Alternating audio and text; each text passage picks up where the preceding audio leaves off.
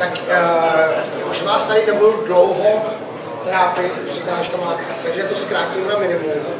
Uh, někdy je latte lepší než pivo. Uh, kdybych se držel dneska tady této myšlenky, tak bych měl sobě tak asi páté leté, ale nedržel jsem se toho. Uh, úplně, úplně stručně, klaté nemá smysl o tom jakkoliv představovat něco takového, protože to je věc, která tady prostě byla vidět pořád. Jakýkoliv příklad, všechno, co se předvádělo, tak bylo platé. Takže já vás nebudu s tím ani tak seznamovat, jenom vypíchnu pár takových uh, zásadních milníků.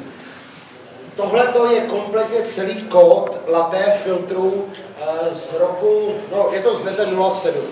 Takže v té době celé laté bylo super, když se dalo takhle zobrazit na jedné stránce. Když se na to podíváte, nahoře je podpora pro snippety, potom je tam uh, pro makra a dole nevím přesně, ale ještě ta metoda return s, ta se mi tam nevešla. Takže takhle vypadalo latte úplně na začátku. Potom se ukázalo, že vlastně ta syntax je docela rozšiřitelná, využitelná, že to je fajn, že se to dá používat na celou řadu věcí. Já tady mám teda ještě obrázek, že i to první laté, co jste teďka viděli, toho umělo poměrně dost, v podstatě takřka všechno, jo. Ale neumělo to takovým způsobem, jak se ukázalo, že je potřeba. Vy, když napíšete proměnou, vypíšete proměnou do kódu, to znamená obalíte ji do těch hranatých závorek, tak ona se vám ona se vám na výstupu vypíše prostě escapeovaná, to znamená tam nějaký to escapeování, ušetří vám to spoustu psaní, ušetří vám to, eh, ten kód vypadá přehledněji, protože tam nemáte tady tu šilnou věc. A zároveň na to nemůžete zapomenout. Tím pádem je eh, vlastně laté nástroj, který řeší bezpečnost aplikací v nete, protože automaticky escapeuje všechny proměny, aby nebylo potřeba aby se na to nezapomnělo. Tam je teda ta věc, že když chcete vypnout escapeování, že na začátek uvedete vykřičník. A měl jsem zrovna teďka na školení někoho, kdo říkal, že uh, má kodéra v firmě a že zjistil, že občas, když tam ten vykřičník není, tak se escapeuje i výstup, který je v HTML, to znamená se dvojitě escapeuje. Takže od té doby začal přát vykřičník všude. že to je bez problémů. Tak to hlavně neděje, jak Honza, jak Honza tady říkal, že uh, vždycky pište vykřičník, tak tam jo, ale tady ne, tady do toho, tady do toho jenom, když vám to dovolí programátor. Co je důležité, takže vám to, uh, tenhle ten kód vygeneruje, když to použiju uvnitř HTML, ale úplně jiný kód vygeneruje, když to použiju třeba uvnitř JavaScriptu. Jo, ale ten zápis je pořád stejný, je to pořád stejně zapsáno. To znamená, eh, nemusí ten koder přemýšlet na tom, kde to používá, jaké funkce na to použít. Navíc mám vyzkoušené, že skoro žádný programátor neví přesně, jakým způsobem se escapeuje, jakou funkci použít. Takže ten koder tím nepřemýšlí, neudělá chybu, je to úplně ideální. Eh, dále taky, už to tady dneska bylo použité, ukázané, je možné používat nějaké filtry.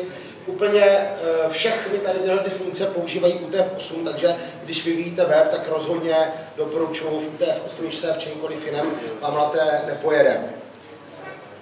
Eh, dá se tam používat všechno, není, nemusí být proměna, kterou vypisujete, může to být funkce, může to být výraz. A to je strašně důležitá část vlastně laté, že to, co je vevnitř, je normální PHP. Jo, že nemusíte se učit nějakou novou syntax. Ono to není jakoby úplně normální PHP, je to takové trochu vylepšené PHP. Je to PHP 5.5, jo. Eh, dají se tam array se dají psat přes nějaký závorky, což už 5 čtvrtce protože jsme ukázali, že to je fajn. A zároveň jsou tam nějaký, je tam ještě třeba vylepšení, že ternární operátor nemusí mít ten třetí uh, parametr. Čímž jako není už vlastně ternární, ale je to strašně fajn, je to strašně pohodlné.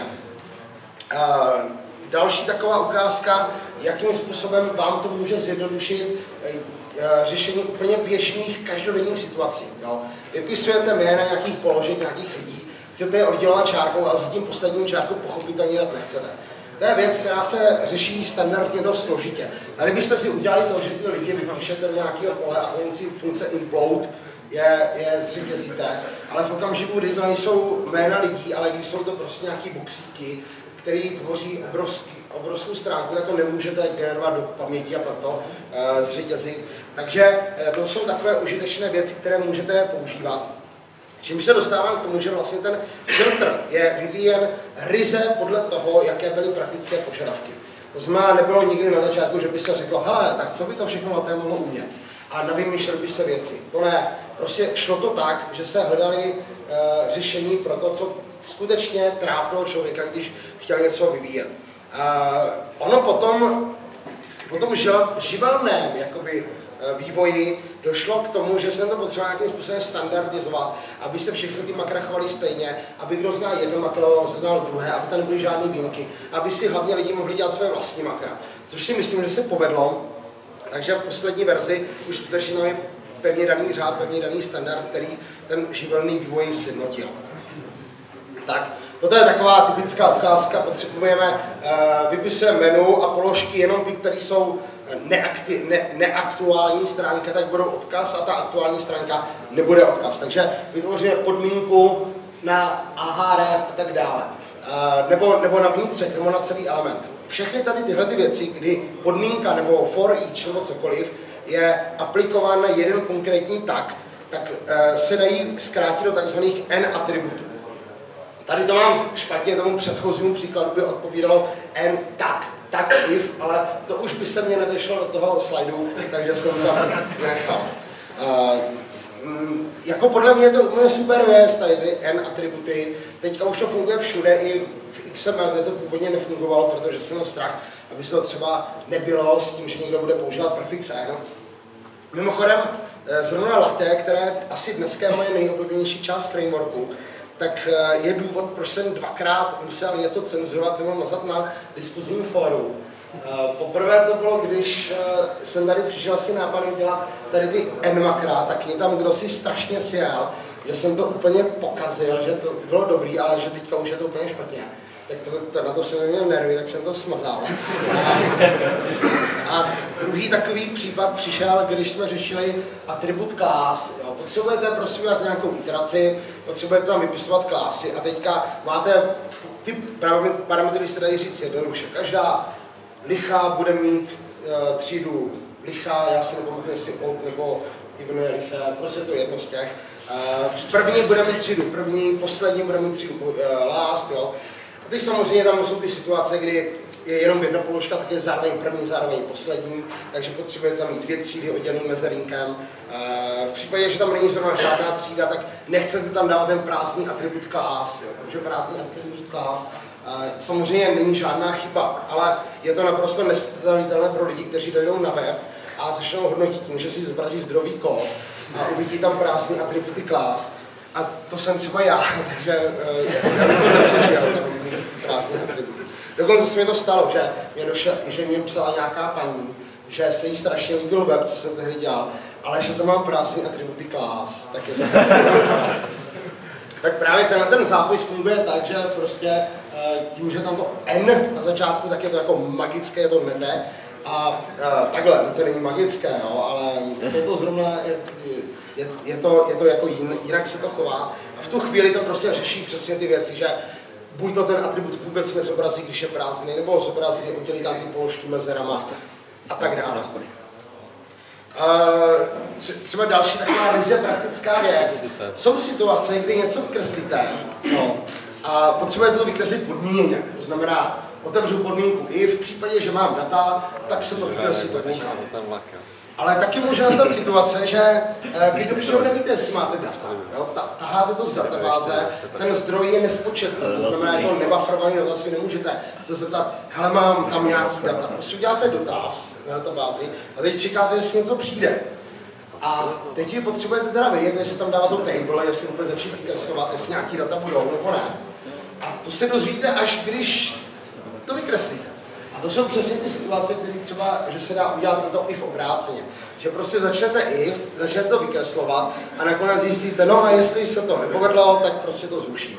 Takže i takové věci se dají dneska dělat uh, platem. V poslední verzi došlo k tomu, že, nebo nete dva, v posledních revizích došlo k tomu, že uh, už si můžete vytvářet úplně plnohodnotně vlastní makra, poslední už je to tak, že i ty vlastní makra, která vytváříte, tak nemusí hned, když se zobrazí to makro v kódu, tak nemusí hned vracet, jaký PHP kód tomu odpovídá, ale můžou to vrátit až pozdě, to znamená, až když to makro skončí. když skončí ta uzavírací značka, tak teprve v tu chvíli oni můžou udělat to, že řeknou, hele, tak otevírací bude mít takový kód, uzavírací bude mít takový kód a v případě, že to bylo zapsáno jako nmakro, tak tam dají takový kód.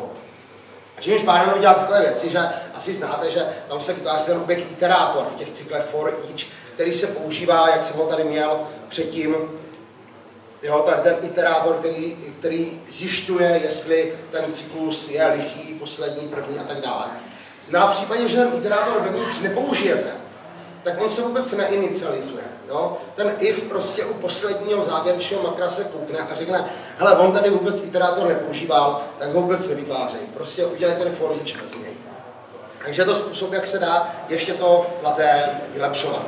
Tak, uh, z mého pohledu laté je prostě tak dokonalé a už tam není co vylepšit, že v další verzi uh, jsem chtěl nastavit všem souborům, které tvoří laté, uh, aby byly read-only, protože už tam fakt něco přidává. Ale bohužel to v Gitu nešlo nastavit. Takže kdyby nás něco napadlo, dá se tam něco přidat, ale podle mě jako tam, tam tam už prostě není vůbec co přidat, to už je prostě nejgeniálnější část. To já vždycky takovýhle názor mám o nějaký věci a když je to tak napadne, tak druhý den mě napadne něco, jak to úplně předělat a ještě, ještě řádově. Takže to byla jenom taková připomínka. Ještě jste si mohli všimnout, že já jsem to měl úplně na začátku, jo, že ten filtr se původně nemenoval latte, jo, on se jmenoval jinak. Já, já tady zaskroluju. Tak. A on se jmenoval ten název, co je nahoře.